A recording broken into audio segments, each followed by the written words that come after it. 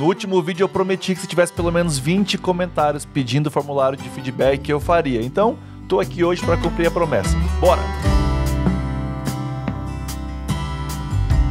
Fala galera, Perazoli por aqui, seja muito bem-vindo ao meu canal, eu sou fotógrafo desde 2008 e nesse canal aqui eu trago muito conteúdo relevante para a carreira de um fotógrafo profissional. Então, se você está querendo viver da fotografia, já vive, quer melhorar, quer expandir seus negócios, esse é o canal certo para você. E claro, também meu Instagram, Eduardo Perazoli, eu posto muito conteúdo lá e toda a minha história, minha bagagem você encontra lá, várias fotos, interage comigo, enfim. É muito bom ter você por lá também, beleza? E se você não viu o vídeo passado, eu recomendo muito que você veja, que são algumas atitudes que afastam você, digamos assim, de ter uma carreira bem sucedida. E uma dessas atitudes é ignorar o feedback dos clientes. Até brinquei, né? Se você pede feedback. Então a galera comentou bastante lá, pediu, foi recorde de comentários aqui no canal, se eu não me engano.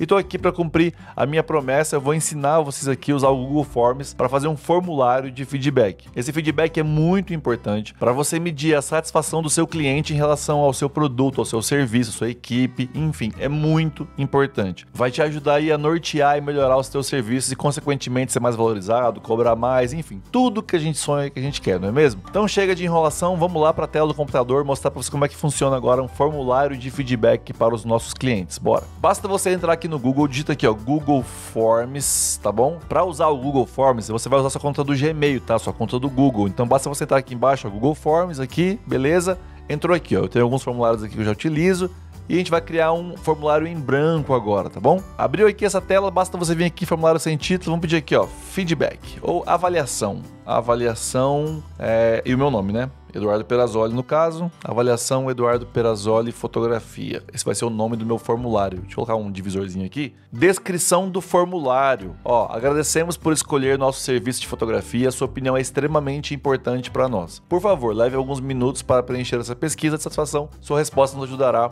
a melhorar nossos serviços. Então, olha só, a gente já definiu ali uma, umas boas-vindas, né? E a gente deu uma explicação ali para o cliente o que, que vai ser esse formulário, que é bem importante que ele nos ajude preenchendo, tá bom? Pergunta número 1. Um como você classificaria a sua satisfação geral com o nosso serviço de fotografia. E aqui você pode dar algumas opções para o cliente. pode mudar aqui do ladinho para parágrafo, resposta curta. Eu vou deixar aqui, ó, múltipla escolha, tá bom? Então, opção 1, vou deixar muito satisfeito. Opção 2, satisfeito. Opção 3, neutro. Opção 4 aqui, ó, insatisfeito. Ou opção 5, muito insatisfeito. Perceba que é, uma, é complicado, você está dando algumas opções para o cliente ali te detonar se for o caso. Então é muito importante que você preste um bom serviço para que aqui na avaliação você seja bem avaliado também. Essa avaliação é só sua, ela não vai ser exposta em lugar nenhum. Então ela é uma boa ferramenta para você falar, poxa, preciso melhorar aqui em alguns aspectos. Então a primeira coisa, ó, satisfação geral. Em relação ao todo, você curtiu o nosso trabalho, nosso serviço? Deixa o cliente responder aqui. Vamos agora criar nossa segunda pergunta no formulário. Você vem aqui em mais, adicionar a pergunta, e a segunda pergunta vai ser a seguinte, ó. A equipe chegou pontualmente ao evento? A opção 1, sim.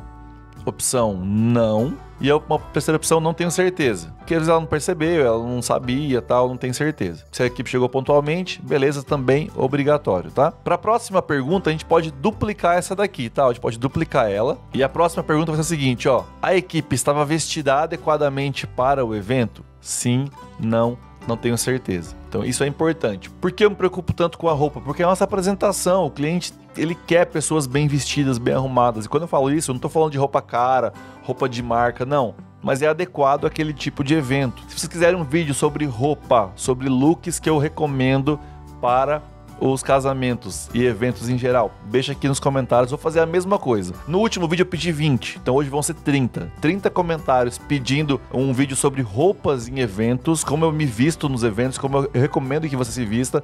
Deixa nos comentários, se tiver pelo menos 30 comentários aqui nas respostas, eu gravo um vídeo desse para vocês. Próxima pergunta aqui do nosso formulário. Olha só, como você classificaria a qualidade das fotos tiradas? Então isso aqui é importante que você envie depois que você entrega as fotos, né? Então é importante você esperar, entregar as fotos e aí sim você pede o formulário para o cliente, né? Então eu vou deixar aqui, ó, excelente, boa, média, ruim e muito ruim. Eu sei que é tenso, mas tem que mandar para o cliente. Obrigatória também. Então mais uma pergunta aí sobre a qualidade das fotos. Aqui em cima, a gente perguntou sobre a satisfação com o serviço no geral. Aqui eu quero saber se ele tem noção da qualidade das fotos que você entrega, tá bom? Para a próxima pergunta, a gente pode duplicar novamente essa daqui, tá? Vamos duplicar ela e a pergunta é a seguinte, ó: Como foi a comunicação com o fotógrafo antes, durante e após o evento? Lembra que no vídeo passado eu falei sobre comunicação, sobre ser acessível, responder ligação, atender, falar, conversar? Então, vamos perguntar para o cliente se ele tem essa noção, se ele percebeu isso em relação ao nosso trabalho. Então, como foi a comunicação com o fotógrafo? De excelente até muito ruim. Próxima pergunta, vamos aqui em mais.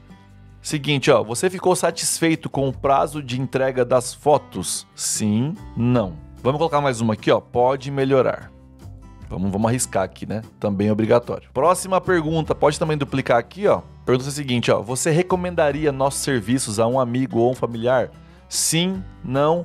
Vamos dar aqui, vamos dar tipo com certeza, sim e não. O com certeza é tipo assim, ah, gostei muito do seu trabalho, vou recomendar com certeza. Então, com certeza, sim ou não. Próxima pergunta vai ser diferente, tá? Então, próxima pergunta, vamos adicionar aqui, ó, você recomendaria, ok?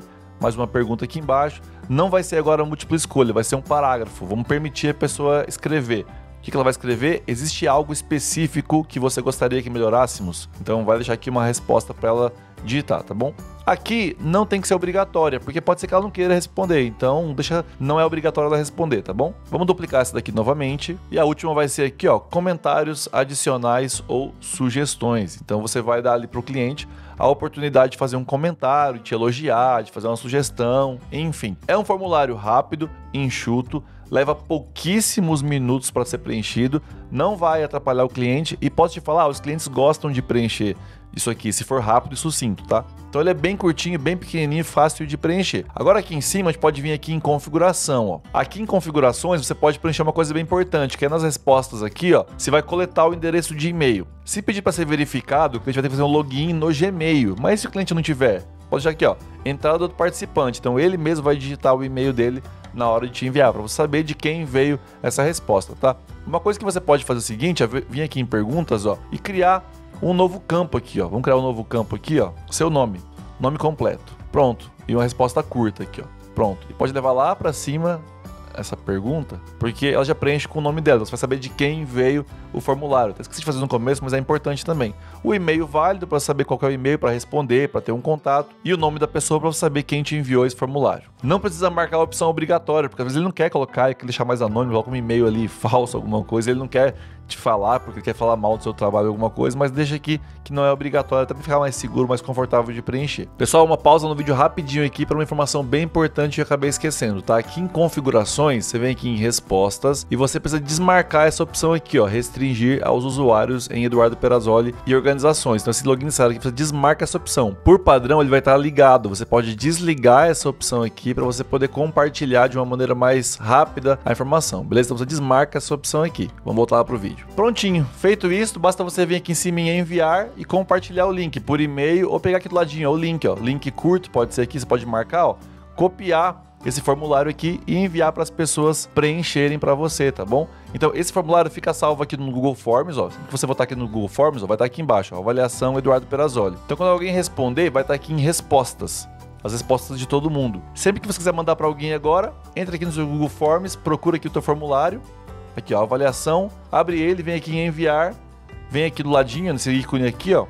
Link curto, vai ficar mais fácil, menorzinho aqui. Copia e manda pelo WhatsApp para os seus clientes e só aguardar as respostas. E aí, curtiu mais esse conteúdo? Então inscreva-se no canal para não perder esse os próximos vídeos. Tá muito legal por aqui. Muito obrigado pela participação de vocês no último vídeo, foi incrível mesmo. Continuem assim. Comentem aqui embaixo se vocês querem lá o vídeo falando sobre roupa e tudo mais, que eu vou ter o maior prazer de fazer, mostrando exemplos. Vou entrar aqui no Pinterest, vamos ver algumas coisas legais. Vai ser bem legal mostrar para vocês, tá bom? Fiquem com Deus, até o próximo vídeo e tchau!